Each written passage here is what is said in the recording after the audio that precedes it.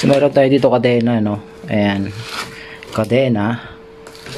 So bumili tayo ng pang degreaser na kadena no. So ito yung ating binili. Ayan. Ito. So ito try natin kung effective.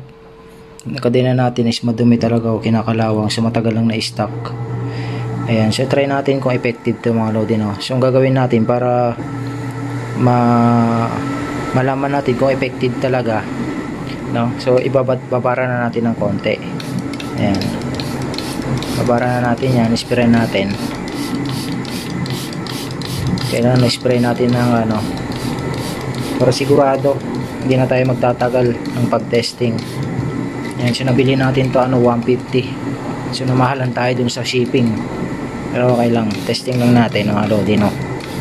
Ayan. So linisan natin.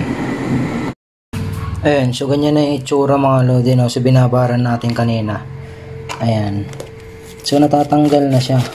So effective naman kaso pag talagang makapal pala yung ano yung kanyang dumi medyo matagal din ayan o, effective din mga lodge ayan so effective siya no so shout out sa product na to no? Baka naman.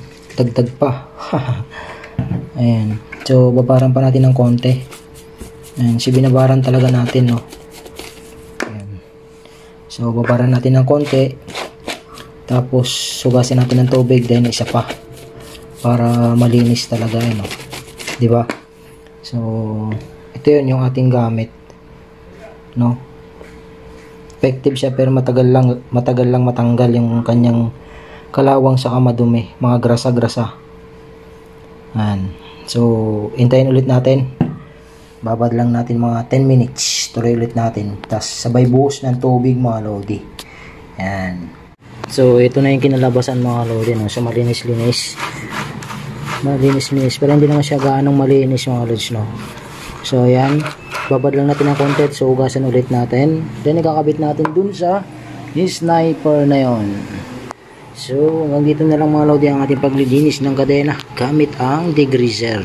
So bye bye